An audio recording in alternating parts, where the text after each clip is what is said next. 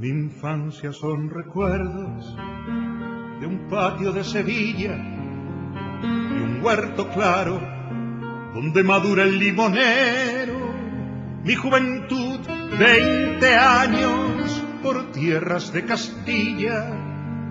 Mi historia, algunos casos que recordar no quiero.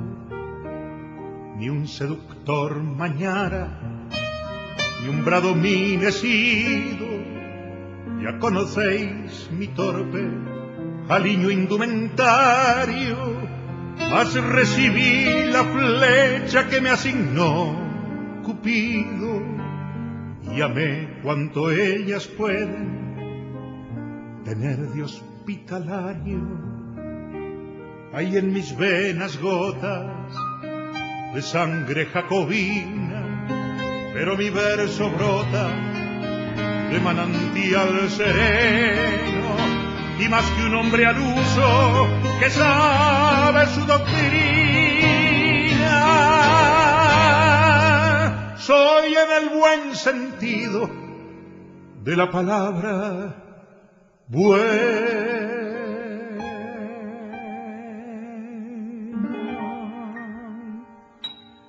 Desdeño las romanzas de los tenores huecos y el coro de los grillos que cantan a la luna.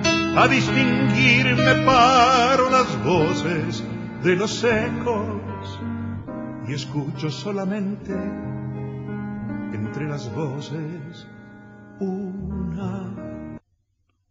Bienvenidos al podcast de oyenos.com sobre Almería.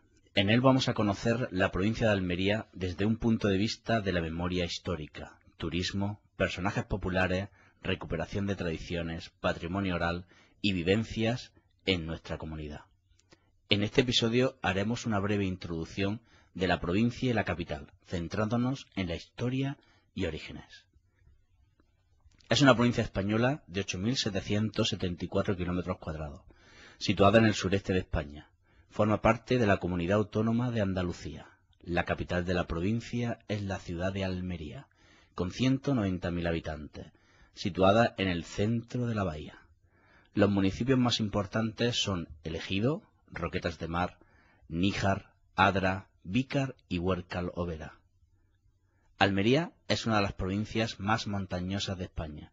No en vano el 46% de las poblaciones están ubicadas en montañas.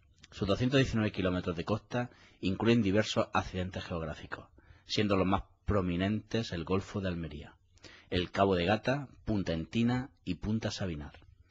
Entre los muchos espacios naturales de la provincia destacan el Parque Nacional de Sierra Nevada, compartido con la provincia de Granada, los parques naturales, el de Cabo de Gata Níjar, declarado en 1987 y primero marítimo terrestre del país, el de Sierra de María, Los Vélez.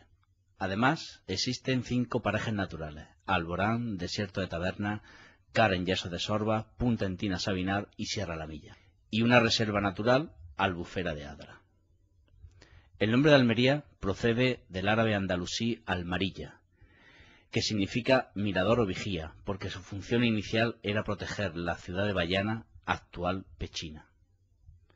La capital a orilla del mar Mediterráneo está bordeada por el río Andarax. Ostenta el título de ser la capital europea con más horas de sol al año, haciendo honor a un acertado eslogan que dice Almería donde el sol pasa el invierno. Culturalmente es famosa por Alcazaba, el cargadero mineral conocido como cable inglés, la catedral y su museo arqueológico. Como comentamos al principio, vamos a hablar de la historia de Almería y la provincia. Vamos a comenzar con la prehistoria. El Paleolítico en Almería se caracteriza por reducidos grupos nómadas, cazadores y recolectores. No son demasiado abundantes los yacimientos paleolíticos en la provincia, siendo el más antiguo de ellos el de la cueva de Zájara I en Cuars de Almanzora.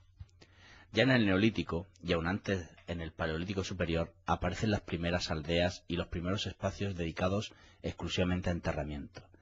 De esta época datan las pinturas rupestres de la Cueva de los Letreros y una veintena de cuevas y abrigos de la comarca de los Vélez, considerados por la UNESCO en 1989 como parte del patrimonio de la humanidad. En uno de los refugios de los primeros pobladores del levante peninsular, el abrigo de las Colmenas, todavía se conserva una figura humana con los brazos en cruz que sostiene un supuesto arcoíris sobre su cabeza. Dice alguna leyenda que esta pintura rupestre representa un pacto del hombre prehistórico con los dioses para evitar futuros diluvios. Es la primera representación del Indalo almeriense, cuyos orígenes etimológicos podrían venir de Lindal Ecius, el mensajero de los dioses de Olivero. De Lindal Ecius viene también el nombre de San Indalecio, uno de los siete varones apostólicos y patrón de Almería junto a la Virgen del Mar. El Indalo se ha convertido con los años en el símbolo más conocido de Almería y de los almerienses. Almería es cuna de dos de las culturas más importantes de la edad de los metales en la península, la cultura de los millares y la cultura del argar. Es la edad de cobre o el caco. De la filantropía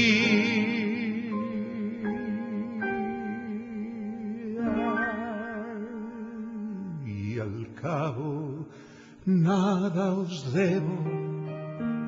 Me debéis cuanto escribo, a mi trabajo acude, con mi dinero pago el traje que me cubre y la mansión que habito, el pan que me alimenta y el lecho donde yago.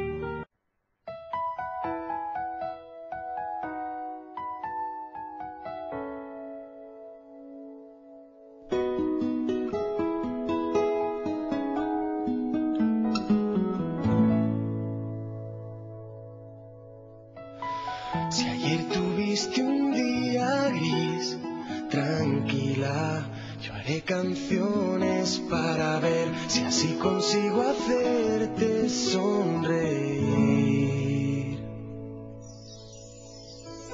Si lo que quieres es huir, camina. Yo haré canciones para ver si así consigo fuerzas para vivir. No tengo más motivos para darte que este miedo que me da no volver a verte nunca más. Creo ver la lluvia caer en mi ventana, te veo, pero no está lloviendo. No es más que un reflejo de mi pensamiento. Hoy te echo de menos. Hacerte saber, amiga, estés donde estés, que si te falta el aliento, yo te lo daré. Si te sientes sola, háblame, que te está escuchando, aunque no te pueda ver,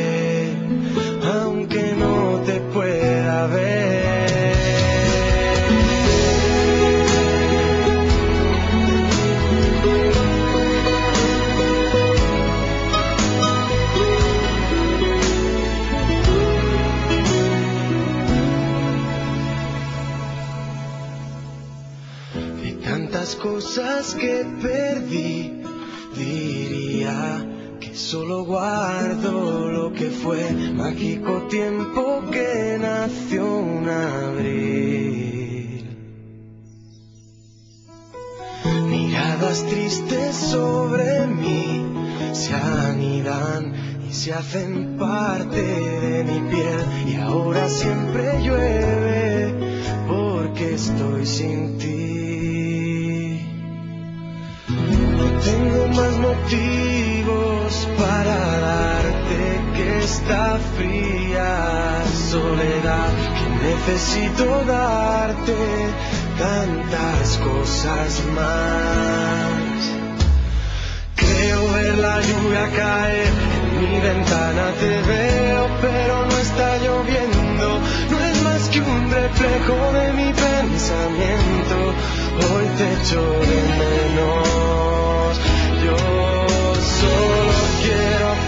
saber, amiga, estés donde estés.